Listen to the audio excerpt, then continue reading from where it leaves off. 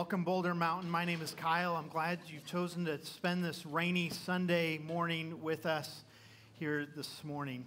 If we've not met, I would love to take an opportunity after service to say hi, answer any questions that you might have, and it is time for Children's Church. All right. Just a couple announcements, real quick, before we dive into the text today.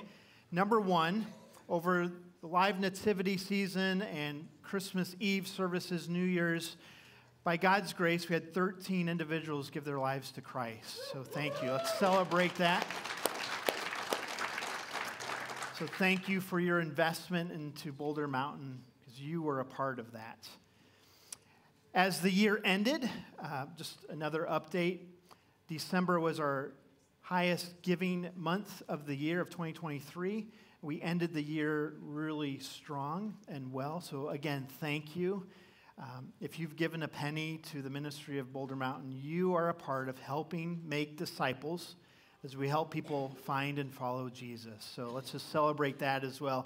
Thank you for giving generously to the church. And then in 2024, let me let you know where we're going. Uh, we've had a building back behind our church here. It's not behind, it's actually in the front. It's the first building you see as you pull in. And that's where we have an office and our children's ministry space is there. Uh, actually, it, there are closets for our children's ministry because those rooms are so small. Part of the reason we added a second service was for room and space for our children. And the space has proven to be not acceptable uh, any longer. And so, as a church, we want to address that in 2024. We're going to present a plan to you later on this year. The board's having conversation about the best way to do that. But I just want to give you a heads up uh, at the beginning of the year that we need more room for our children and our students. That will be a priority this year. The next generation, they are part of the church today, but they are who we're handing the baton off to. And it's important that we provide safe, fun, guest friendly environments for our, our kids. So, wanted to let you know where we're going with that. Would you join me in prayer as we open up our text? Father, I ask first, I thank you for the lives changed over Christmas Eve and Live Nativity and New Year's. God, thank you that you are still in the business of saving people, us included. Thank you. God, thank you for the giving and the generosity of this church in the church, but also outside the church. We pray for more of that, that as you have been generous to us, we would be generous with what you've entrusted to us. And Father, I think of those watching online who are not able to come to service today. I pray for those who are sick. I pray for those who are traveling, those who are in a hospital bed. We think of them, we pray for the peace and the power of your presence to show up in a powerful way in their, in their room right now. I think of those in, in need within our church, God, that they would, they would ask and we might be able to meet those needs. I pray for the power of the Holy Spirit in the next few moments that, God, you would have your way today. You would move and speak and be really clear to us what we need to do. In Jesus' name, amen. We are beginning a new series today called Taming the Tongue. And just so you know, as your pastor, I've not tamed my tongue. So you can join me as I learn to follow Jesus in this area.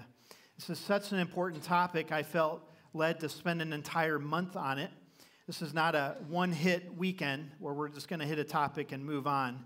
We're going to sit here a while for four weeks addressing a really important topic. It's a topic that I believe God says we all have power. We all have power. If you are able to speak in this area, you have a tongue, you can speak, you have power, and you have influence. So, we're going to spend a few weeks in the book of James. The book of James is a unique book in the New Testament because while Paul's epistles talk a lot about we are saved through grace and by faith alone. That's the testament, Paul. We are saved by faith and grace. James comes along and says, Yes, that is true. We are saved by faith alone, but it is not a it is not faith that is alone. It is with works played out in faith. James talks a lot about works and the way you and I are to live our life on a day to day basis. James is the Proverbs of the New Testament, if you will. James grew up in a home where the Savior of the world was his brother. How would you like that? He was a skeptic, right? You would be a skeptic too if your brother claimed to be the Messiah. He was a skeptic for a while, and then he placed his faith and trust in Jesus, surrendered his life, and said yes to his brother as his Lord and Savior. So the, that's James. He writes this book. A few things about the book of James written between AD 50 and 60 in that time frame. And then he was martyred for his faith in AD 62. So shortly after the book is written, within 10 years, most within 10 years, he's giving his life for the sake of the gospel. He is the pastor of the church in Jerusalem. He actually is the uh, council member of the called the Council of Jerusalem, where decisions were made about the early church. He sat on that council. He was a man of influence and leadership. His church was made up of messianic Jews. So they were Jews who had given their life and recognized that Jesus is the Messiah. So that's the church context. He stayed in Jerusalem, gave his life in Jerusalem. James. A little bit about the book of James. Chapter one's an introduction, and then he goes into 12 really practical teachings. I, I call it a blessing punch in the gut. So brace yourself. He doesn't mince words, he's really direct and he's really clear. And he addresses hey, if you're going to claim to follow Jesus as your Lord and Savior, there are some things that your life evidence, should show evidence of your faith. You're saved by faith, but then there should be work in your life based upon that. Of those 12 teachings in the few chapters in the book of James, three of them deal with what we're going to talk about this month our speech our conversation, the words that we say, the words that we hear. He talks in later on in the book, he talks about judging others, discriminating against others.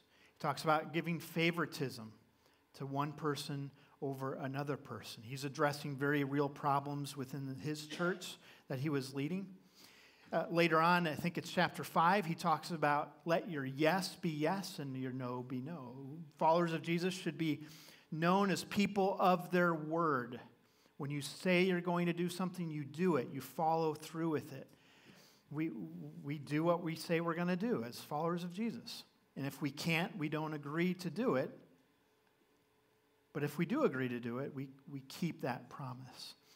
James talks about the word perfect, perfect, or perfection seven times in the book, which is the number of perfection. It's kind of funny. I think that was intentional. And he's talking about perfection that we find perfection in the sanctification process. Sanctification simply means, it's a big church word, it means I'm becoming more like Jesus every day. At Boulder Mountain, that means we make disciples. What does it mean to be a disciple of Jesus? It means we're spiritually mature. We're all moving. None of us have arrived perfectly in that. I'm at the front of the line. I, I'm nowhere near where ultimately where Jesus wants me to, but I'm thankful that you're on this journey with me. We're following Jesus. One day we will be made perfect. So, James chapter 1, really clear point I want to, for all of us to identify. He says, if any of you lack wisdom, let him ask of God. I need wisdom daily, and that is offered to you as well. If you need wisdom in your life, we know the source, and you have a direct line to ask God for wisdom in the areas that you need wisdom in.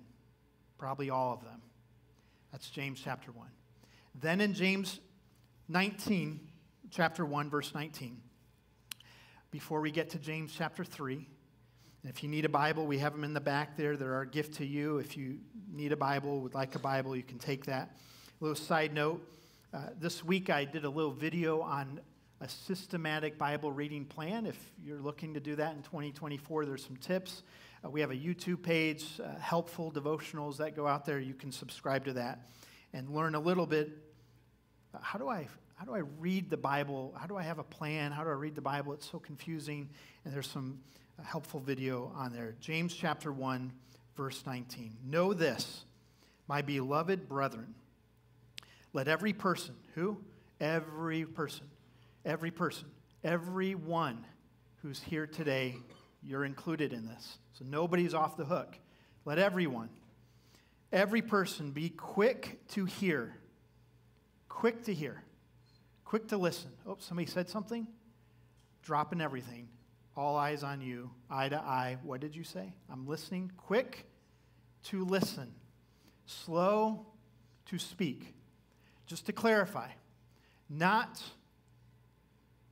slow to listen, quick to speak. I think we've all misunderstood this. So let's just get the order right. Because it's not be quick to speak, slow to listen. It's the opposite. My parents said you have two ears and one mouth. Do the math, right? Listen twice as much as you speak. It's probably 10 times as much as you speak. Listen 10 times more than you speak. Everyone be quick to hear, slow to speak, and what? Slow to anger. You will be more likely to be slow to anger if you are quick to listen and slow to speak. Leads to being slower to anger.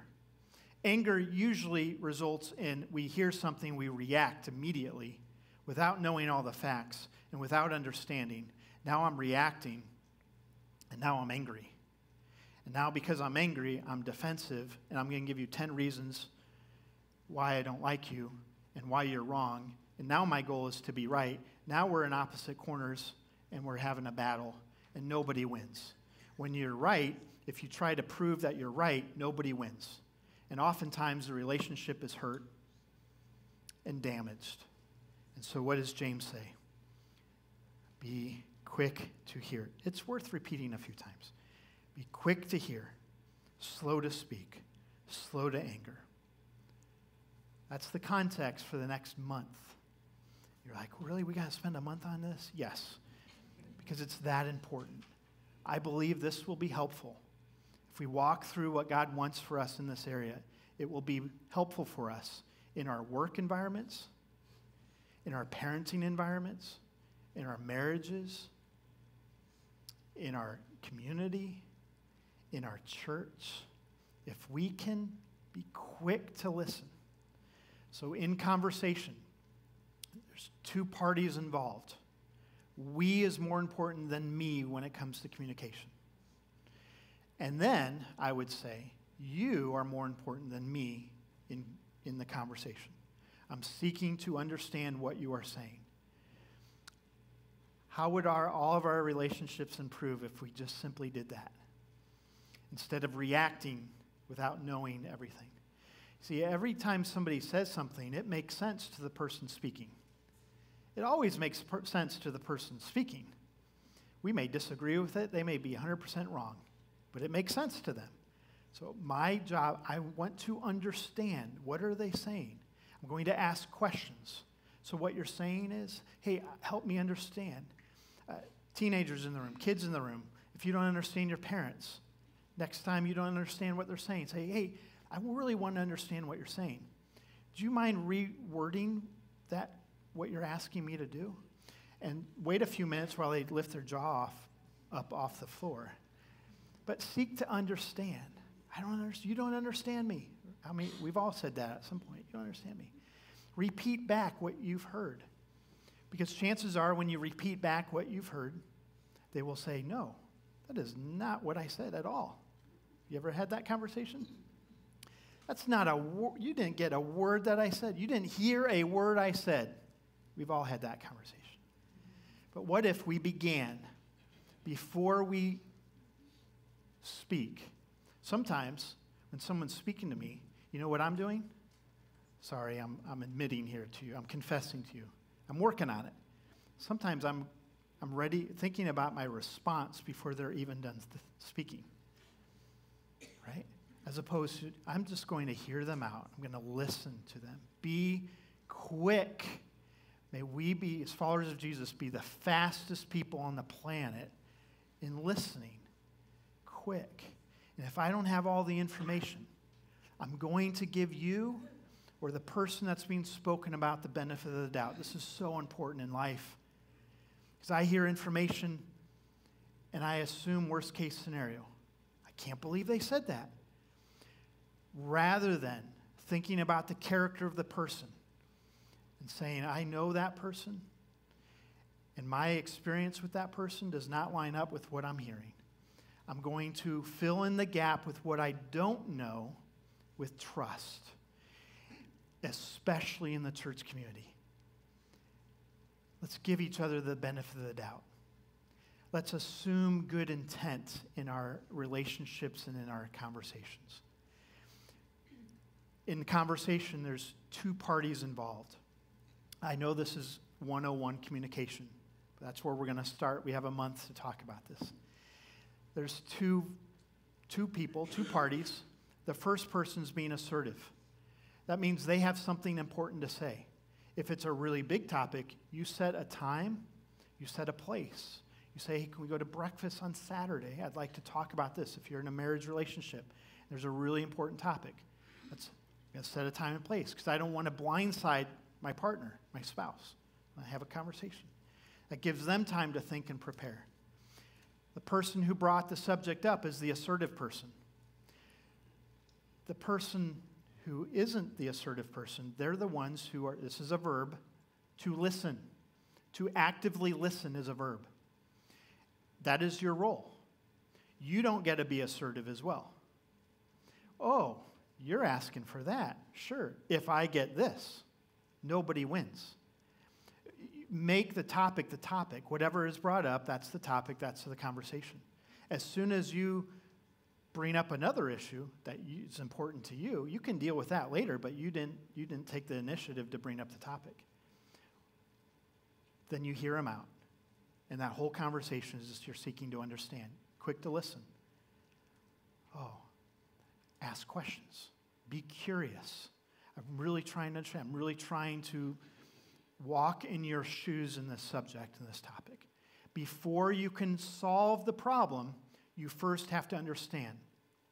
80% of marriage conflict is just misunderstanding. That's not what we're talking about until you can deal with the subject, you got to agree on what you're talking about. Assertive person and the other party is actively listening. Assume good intent. Be quick to hear, slow to speak. Slow to speak. The number of words that we all say on average about 7,500 words a day that we speak. Uh, women tend to speak more. This is a generalization, so it may not apply to you. Uh, research shows women speak about 10,000 words a day, men between 5 and 6,000 words a day. Now, that may be different for you. Uh, for some of us, we speak more than we should. Others of us, we don't speak enough. And every one of us, God is speaking to us right now. Either we need to speak up. Number of times I'm in a conversation with a, with a marriage couple, and I hear they never speak. I don't know what they're feeling. I don't know what they're thinking. He never shares his feelings. I use the word he there, generalization. He never tells me what's going on in there. Sometimes we speak too much. I'd much rather be asked my opinion than give my opinion without being asked. Wait to be asked to give your opinion, especially if you have adult children, which I'm learning. God, Psalms, the psalmist uh, David writes in Psalms, guard my mouth and then he says, put a gate around it, lock it up. Right? Jesus says, take every word captive. Why would Jesus say that? Because there's a whole lot of words escaping this big trap that should never have been said. Right? And oftentimes culture will say, well, speak your mind. What, tell me what's on your heart. Bad advice. Don't do that. The Bible says the heart is deceitfully wicked. So please don't tell me what's in your heart. I don't need to hear that. Speak what the Holy Spirit, and by God's grace, He is asking you to say. There are times you need to speak, and there's times we need to shut our mouth. And God, give me the wisdom to know the difference between those two, right? That sets the stage for this next month. James chapter 1. May we be slow to speak, quick to listen, and slow to become angry. For some of us, just that's the message right there. Some of us, we've not addressed anger. And there's anger in us, and it's been an issue in our entire life. We, we react and we fly off the handle and we say things we regret quickly and we throw things and we punch holes in the wall. And, and God does not want you to live that way because He loves you. He says there's a better way to live your life. But at first, it requires us to admit that and then, and then begin to address it. And how do we address it? By first being quick to listen. Being quick to listen. James chapter 3 is where we're going to spend most of our time today. Verse, chapter 3, verse 1, James says, In the taming of the tongue, this whole chapter is about the taming of the tongue. Not many of you should become teachers. My brothers, for you know that he who we who teach will be judged with greater strictness. For we all stumble in many ways, and if anyone does not stumble in what he says, he is a perfect man, able also to bridle his whole body. If you put bits into the mouths of horses so that they obey us, we guide their whole bodies as well. Look at the ships also. Though they are so large and are driven by strong winds, they are not guided by a very small rudder. They are guided by a very small rudder. Wherever the will of the pilot directs, so also the tongue is a small member, yet it boasts of great things. I am not a horse expert. We have a number of horse owners and people who work with horses in our church. Uh, the Johnsons were kind enough to loan me this bridle, and this goes over the mouth of a horse. Horses weigh around 1,500 pounds. If you want to guide the horse to tell it where to go, 1,500 pounds, you put this little bit right here above the tongue. You put that into their mouth. It's got to be center, it's got to be perfectly, not too far back, not too far forward. This is really important piece to direct the entire horse. You want the horse to know where to go, you got to be able to control the bit that's in the horse's mouth. Now, this is true 2,000 years ago. James is like sitting at his desk through the power of the Holy Spirit. How do I communicate to the people in my church how to control what they're saying? I don't know all the problems he had in this church, but it was a church, so there were problems. And so he's riding, he's like, Oh, a horse. I've ridden a horse before. I've seen. How do you direct or steer a horse? You put a bit in its mouth. You cannot direct the horse without a bit in its mouth. There's another woman in our church who's a horse dentist. I didn't even know they had dentists for horses. It's big business. Because if that horse's teeth are out of whack, you can't steer the horse. That horse is useless. If there's problems in the mouth of the horse, the steering wheel is broken. So it's really important. So James talks about controlling the whole body. So if we have a problem with our tongue, if we have a problem with our mouth, it affects our entire body. It affects our workplace. It affects our home. It affects our marriage. It affects our relationships with, with our friends. It affects our community. If we do not have the tongue under control, there is damage and hurt. There's a ripple effect all around us. You may be aware of that. You may not be aware of that. It's worse than you think. Like, I don't think I have a problem. Wherever level you're at, it's worse than you think, right? By God's grace. The goal is today to not leave here after the service and say, I'm going to try harder to control my mouth. That might last until 2 o'clock on Sunday. It might last this afternoon. I am not asking you to try harder and do better in this area.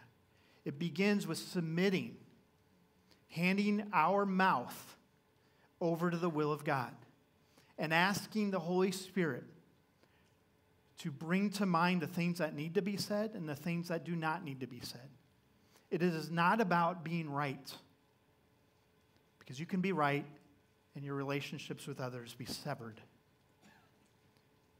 But what we are talking about today is influence.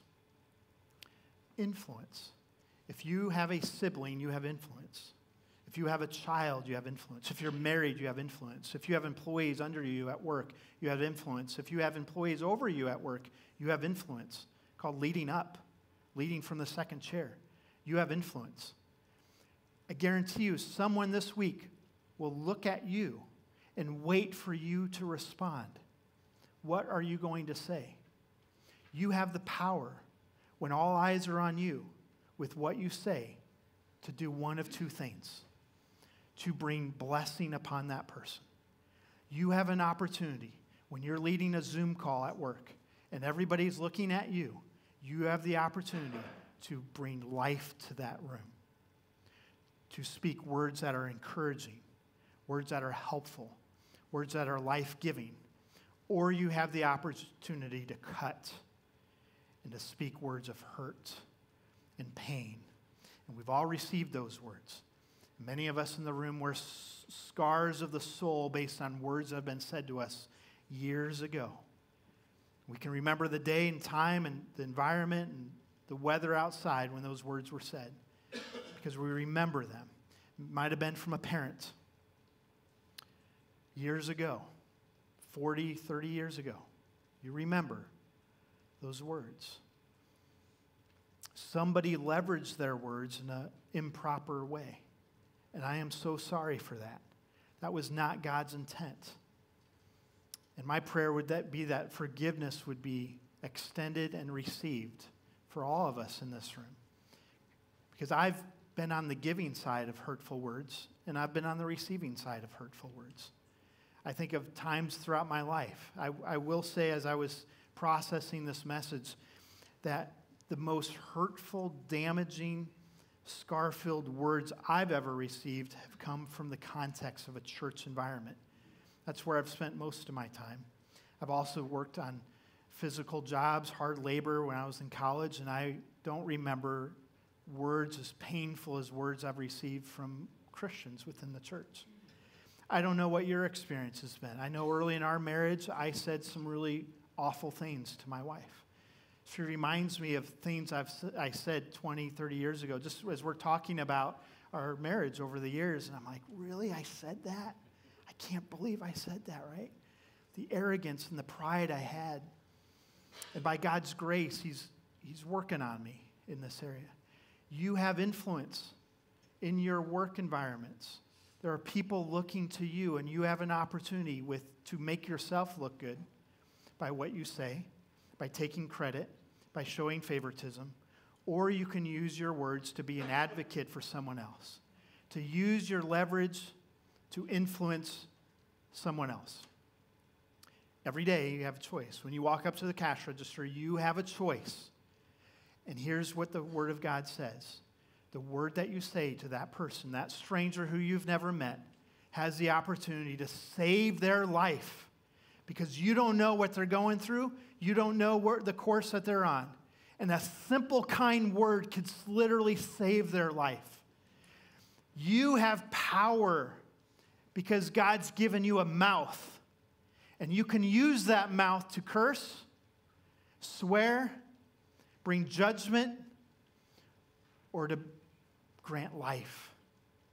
My mom said it this way if you don't have something nice to say, don't say anything at all. Right? Wise words. There's an acronym that I've seen recently, and this applies to social media as well. This is not just verbal. James didn't have social media, so he didn't bring up Facebook. You will not win by arguing with anybody online.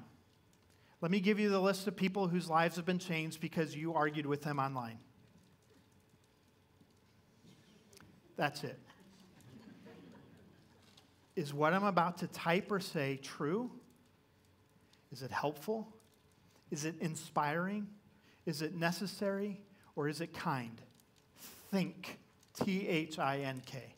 If it is not one, all five of those, then do not speak. Wait for your opinion to be asked. Be silent waters that run deep. Be that person in the room, and I would make the case you're the most powerful person in the room. When, you, when people wait for you to speak, as opposed to, I know where they stand because they said before the meeting even started, right? Be slow. Now, he talks about leadership. Now, in the, in the Jerusalem church, there were apparently, he had too many leaders, which might have been the only church in the history of churches where that was the case. But he's saying, hey, I'm recognizing that there are some individuals who would like to teach for wrong motives. If you're looking for a position in the church, for a title, that's the wrong reason. If you're looking because you have an agenda to share in your small group, that's the wrong reason. If you're looking for a chance to speak for 60 minutes, that's the wrong reason. Right? So James addresses that. Hey, heads up, teachers will be judged more strictly. Now, we automatically go negative on that, right? You think, oh, yeah, wow, I'm going to be judged. All these things I've said, you know, good things, and but we're also going to be judged negative. I think it's also for the positive. So there's two judgments that we're all going to face. One judgment is for those do you know Jesus or do you not know Jesus? That's the first judgment. For everyone who knows Jesus, there's a, nudge, there's a judgment seat. And he's going to meet with us. It's going to be good. I believe it's going to be grace filled. But we're going to have a conversation with Jesus about the time, time, the talents, and the treasure that he gave to us and how we stewarded that. How did we steward what he gave us on earth? it's going to be a conversation. That's where the more position and leadership that you are given, the more responsibility that you have. Right? The higher up you go in leadership, the higher the percentage of people who do not like you grows. By and large, everybody, 10% of the people do not like you. Accept it, get over it. The more influence that you have, the possibility of that number increases. Leverage your influence, leverage your power, leverage your position, not for this, your sake and your glory, but for the benefit of the others who are looking to you.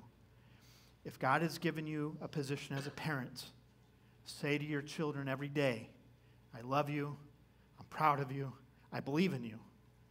Not after they hit a home run, or score a 10 at gymnastics or get a gold medal riding horses. Say it to them because they're yours. I would ask my girls growing up, Do you know why dad loves you? Yes, dad, we know why you love us, right? Because you're mine. Not because you did anything, because you're mine. God says about his son Jesus at the baptism of his son, he says, this is my son. I want the whole world to know this is my son in whom I am well pleased. I'm proud of my son. Parents, I don't care how old your kids are, text them today. I love you. I'm proud of you. I believe in you. If your parents are still alive, call them up, text them. Thank you. I love you.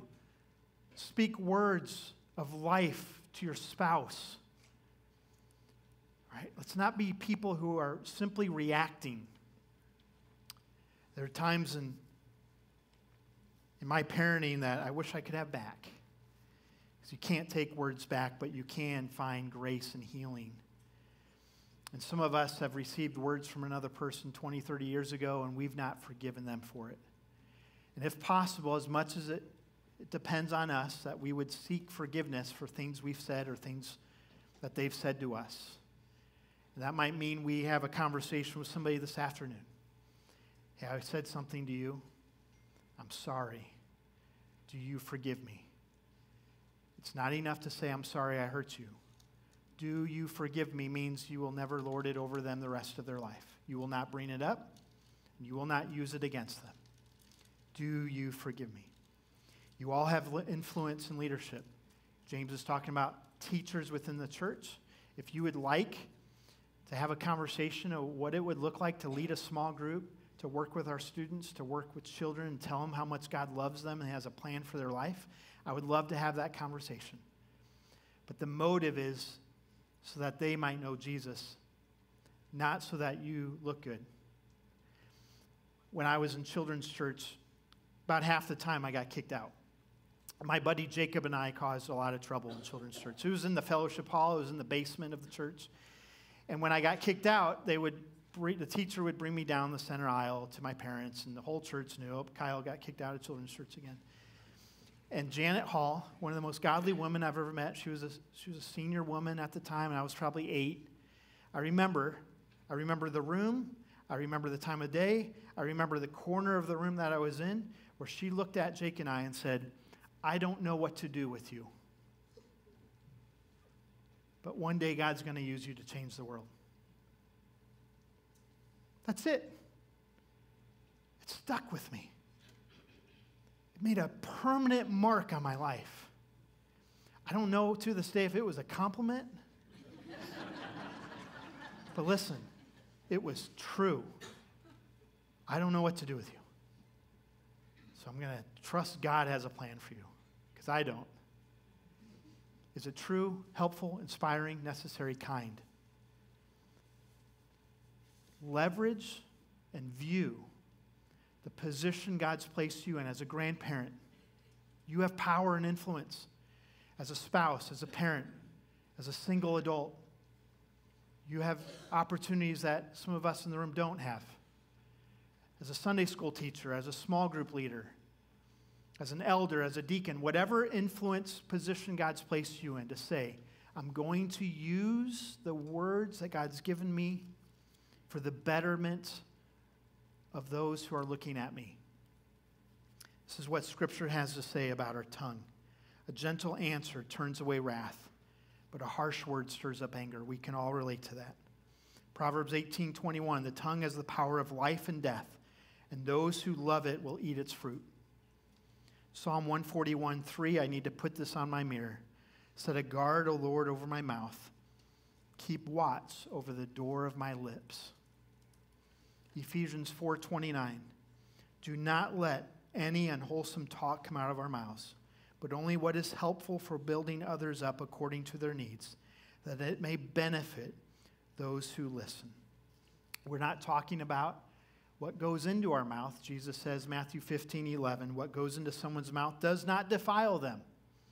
But what comes out of their mouth, that is what defiles them. We've all met grumpy old people. There's grumpy old men in our lives. They, were, they did not wake up one day and become grumpy. They were grumpy 25 year olds. And they were grumpy 18 year olds. They've been grumpy their whole life. They just happen to be old now. They get a bad rap. There are people who might describe some of us as grumpy. Because all we hear are negative comments and negative words. And, oh, spiritual maturity. What would it look like for us to be spiritually mature where even if I don't agree, I can understand? And even if I have a preference for something else, I'm going to approach a person.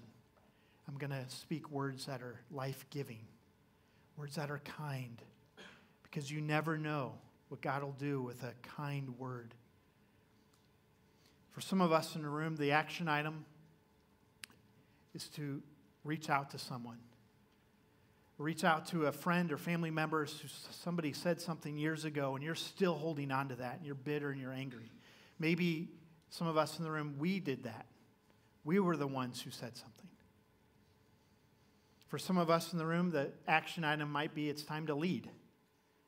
You've been in a position of receiving. Now it's time to, to teach. It's, it's, yes, you will be judged more strictly. That is true. But you'll also, I believe, you'll see the benefits of that. I, I believe Jesus will pull you in and say, hey, I want you to know you didn't know this, but because you taught, I, I think he pulled Janet Hall in, my Sunday school teacher, and says, hey, when you said that, that made a mark on Kyle. She didn't know it at the time. She passed years ago. I, I never told her that. You have an opportunity to bring life or bring death by the bits that are in our mouth. And you're like, well, I need to get control of that bit. No, you don't. The Holy Spirit needs to control our mouth. Jesus, take the reins. Jesus, take the reins. Holy Spirit, control the bit. I'm getting out of the way. But may the prayer be simply before we respond Holy Spirit, give me the wisdom to know what to say in this moment. And if necessary, give me the courage to keep my mouth shut. God will answer that prayer. And it's hard because you feel like you, you, God has asked you to defend, be the defender of all things right in that moment. Some things we just need to let go. Some things we need to let go. For the sake of the relationship, say a kind word. Be encouraging. Be known as the person when you walk into the room, everyone else feels better than before you were there. Right? I would ask that whatever the Holy Spirit's asking you to do in this area of influence, that you would, you would do. The course of this next song, as I pray, the team comes, comes to the stage, that you would do business with God in this area. Whatever He's asking you to do, you would take that action step this afternoon. Would you pray with me? God, I thank you for, um, uh, for James's text here. I know personally, Father, I wrestled with this text this week and I've recognized I've fallen short many times in my life, and I'm grateful for your grace. I thank you for people in my life who've spoken words of great encouragement over me. I thank you for second chances, third, fourth, fifth chances. God, I pray that we would be known as people who have submitted our words over to the will, your will. Thank you for this blessed gut punch today. And would you give us wisdom to know when to speak and when to be quiet? And Father, would you encourage us, even among strangers, when a kind, helpful, encouraging word needs to be said, that we would be the ones to say it. Even if we don't know the outcome, that we would be obedient. Teach us, Holy Spirit, to tame our tongues. In Jesus' name we pray. Amen.